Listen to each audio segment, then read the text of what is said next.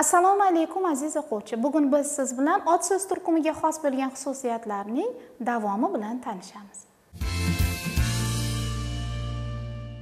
O'zbek tilida atoqli otlar turdosh otlar bilan o'zaro munosabatga kirishadi. Ya'ni atoqli otlar turdosh otlardan yoki boshqa so'z turkumlaridan hosil qilinadi. Masalan temir uchqun lola so'zlari nima so'rog'iga javob bo'ladi turdosh ot sifatida ammo shaxslarga qo'yilgan ism sifatida esa bular kim so'rog'iga javob bo'ladi? Yoki sifat so'z turkumiga mansub bo'lgan botir shirin jasur kabi so'zlar son so'z turkumiga tegishli bo'lgan oltmishboy saksonboy olmosh so'z turkumiga tegishli kimsan ravish so'z turkumidan bulturboy fe'l so'z turkumidan turdi ko'paysin kabi so'zlar bular shaxslarga qo'yiladigan nomlar ya'ni atoqli otlardir. Atoqli otlar turdosh otlardan hosil qilingani kabi atoqli otlardan ham turdosh otlarni hosil qilishimiz mumkin. Ya'ni bular ko'pincha kashfiyotlar ilmiy izlanishlar natijasida hosil qilinadi. Masalan rentgen. Rentgen bu nur sifatida yoki apparat sifatida o'zbek adabiy tilida ishlatiladi va bu apparatning turidir. Demak umumiy nomi bo'lganligi uchun ham turdosh ot. Va buning ixtirochisining nomi esa rentgen. Demak o'sha ixtirochining nomiga qo'yilgan apparat va bir turdagi narsa predmetning nomi esa turdosh ot deyiladi. Yoki rizomat rizomat bu shaxsning nomi hisoblansa uzumning navi sifatida rizomat uzumi. Xosiyatxon atlasning turi hisoblanadi. Xosiyatxon o'zi shaxs nomi sifatida shu atlasni ixtiro qilgan shaxsning nomidir. Volt so'zi ham xuddi shunaqa. Demak energiya quvvati birligi hisoblanadi. Atoqli otlar tarkibida ishlatiladigan shoh so'zi o'zbek adabiy tilida ikki xil holatda kuzatiladi. Ya'ni shaxsning nomidan oldin shaxsning nomidan keyin. Agar shaxsning nomidan oldin kelsa ajratilgan holatda kichkina harflar bilan yoziladi. Agar shaxsning nomidan keyin kelsa qo'shilgan holatda kichkina harflar bilan yoziladi. Shaxs nomi sifatida o'g'li qizi binni ibn so'zlari shaxs nomi tarkibida qo'llanganda kichkina harflar bilan asosiy shaxs ot yoki shariflardan ajratilgan holda yoziladi. Xuddi shu singari familiyalar tarkibida yev ov yeva ova kabi tarkibiy qismlar ham asosiy atoqli otning tarkibiga qo'shib yoziladi. Otlar ifodalanayotgan tushunchaning xarakteriga ko'ra ikkiga bo'linadi. Aniq otlar hamda mavhum otlar. Ifodalanayotgan tushuncha degan iboraga e'tiborimizni qaratamiz. Biz savol eshik yoki kitob so'zlarini talaffuz qilganimizda ongimizda aniq bir tushuncha ifodalanadi. Demak bunday otlarni biz aniq ot deymiz. Agar biz urush sevgi jaholat alam quvonch kabi so'zlarni ifodalaganimizda ongimizda hech qanday tushuncha bildiradigan so'z paydo bo'lmaydi. Shuning uchun ham bunday so'zlarni biz mavhum otlar deymiz. Demak ifodalanayotgan tushunchaning xarakteriga ko'ra otlar ikkiga bo'linadi aniq otlar va mavhum otlarga. Aniq otlar tushunchaning konkretligi bilan farqlanib tursa mavhum otlar esa tushunchaning aniq emasligi bilan ajraladi. Mavhumotlar o'zining ichida belgi xususiyat otlari voqea hodisa otlari harakat holat otlariga bo'linadi. Belgi xususiyat mavhum otining eng faol qo'shimchasi bu likdir. Belgi xususiyat mavhumotlarga yaxshilik yovuzlik kamtarlik kabi so'zlar kiradi.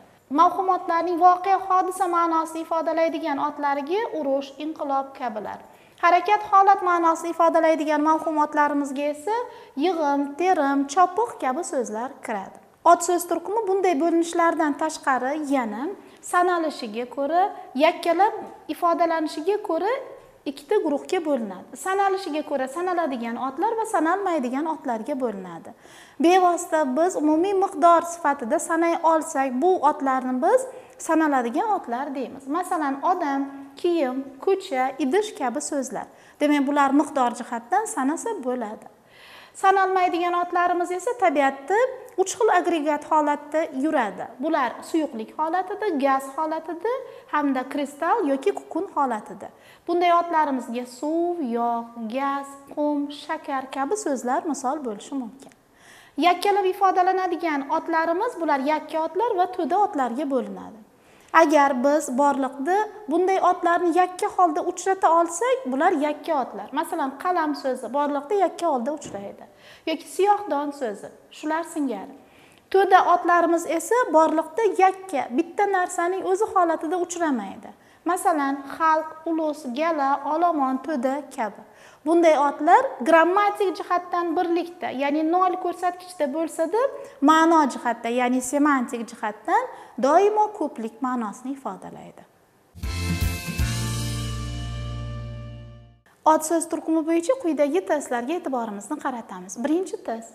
Abdulatif otasining ketidan quvmadi. Uch kun sherozda qolib ketdi. Berilgan gapdagi shaxs nomi va shaxs otlarini ko'rsating. E'tiborimizni qaratamiz. Biz yuqorida o'tilgan mavzularda shaxs nomi va shaxs otiga o'quvchi e'tiborini alohida qaratishi lozimligini uqtirdik. Ya'ni shaxs nomi bu atoqli ot mavzusida shaxs oti esa turdosh ot mavzusida o'rganiladi. Demak biz ushbu gapimizda atoqli otlarni ajratamiz. Ya'ni abdulatif sheroz so'zlari atoqli otdir. Abdulatif shaxs nomi bo'lsa sheroz joy nomi. Shaxs nomi sifatida abdulatif shaxs oti sifatida ota so'zi olinadi. Ya'ni shaxs otining qarindoshlik darajasiga ko'ra. Demak ushbu gapimizda shaxs nomi va shaxs otlari bittadan bitta shaxs nomi abdulatif bitta shaxs oti ota so'zlari ishtirok etmoqda. Ushbu testning javobi a varianti bo'ladi. Ikkinchi testimiz ikkita bosqichli test hisoblanadi. Ya'ni o'quvchi berilgan gaplardagi avvalo morfologiya bo'limidan ot so'z turkumi va unga tegishli bo'lgan sintaktik vazifasini topa olishi lozim. E'tiboringizni qarating. Siz kitoblarni xurjundan olingda tokchaga qo'ying. Gapdagi ot so'z turkumlarining sintaktik vazifasini aniqlang. Demak ot so'z turkumlarini belgilab olamiz. O'quvchi ko'pincha siz men u kabi so'zlar ya'ni olmoshlarni ot so'z turkumi deb chalg'iydi. Bular olmosh ya'ni kishilik olmoshlaridir. Kitob nima ot so'z turkumi narsa oti xurjun nima narsa oti tokcha nima narsa oti ba'zan o'rin ma'nosini ham ifodalashi mumkin. Demak uchta ot so'z turkumiga tegishli bo'lgan so'zimiz mavjud. Bu so'zlarning sintaktik vazifalarini belgilaymiz. E'tibor bering ushbu gapimiz ikkita gapdan iborat. Ya'ni olmoq oling kesim bilan ifodalangan hamda qo'ying kesim bilan ifodalangan gaplar. Demak sintaktik vazifasini topishdan oldin biz kesimlarni aniqlab olib ya'ni gaplarning chegarasini aniqlab olganimizdan so'ng kesimga bog'lanuvchi bo'laklarni belgilaymiz. Oling qayerdan? Xurjundan. Nimani? Kitobni. Qo'ying qayerga? Tokchaga.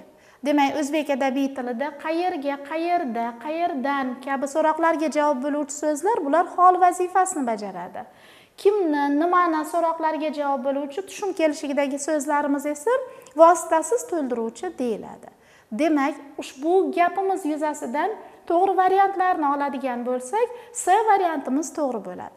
Ya'ni kitoblarni so'zi vositasiz to'ldiruvchi xurjundan va tokchaga so'zlari esa o'rin holi vazifasini bajaradi. Ushbu ekranda ko'rsatilgan manzildan mavzuga oid test va topshiriqlarni olishingiz mumkin. Shuning bilan ot so'z turkumiga tegishli bo'lgan mavzuimiz o'z nihoyasiga yetdi. Keyingi darslarda ko'rishguncha xayr.